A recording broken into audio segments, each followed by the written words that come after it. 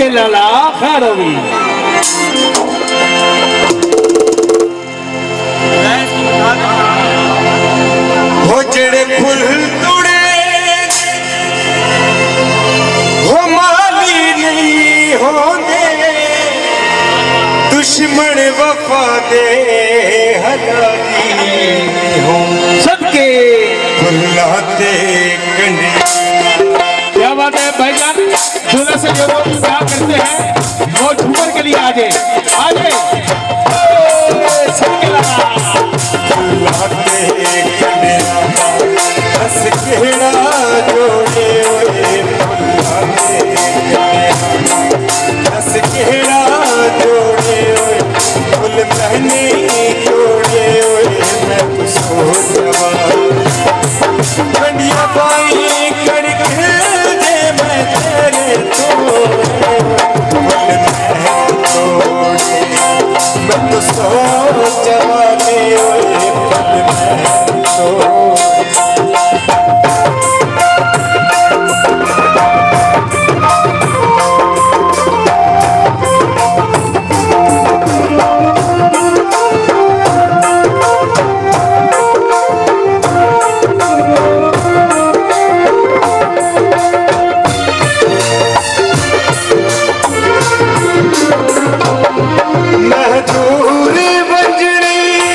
बजरी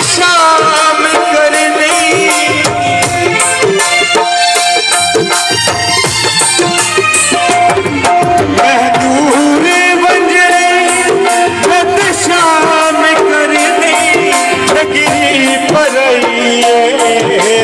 शाम करनी